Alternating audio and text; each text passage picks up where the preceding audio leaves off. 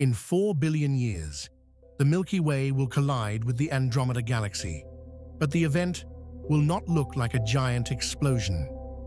At first, the night sky will change slowly. Andromeda will grow larger and brighter every thousand years. When the galaxies touch, stars will not crash into each other. They are too far apart. Instead, gravity will throw star systems into new orbits. Some will be pushed inward, others will be flung outward. Gas clouds will collide and create enormous bursts of new stars. Bright regions will form across the sky. Earth may shift into a new position. It could drift closer to the galactic center or move toward the outer edge.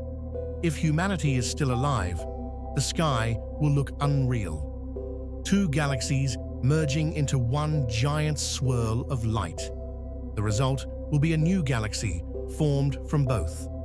Even galaxies are only temporary shapes. Subscribe me and I'll make part two.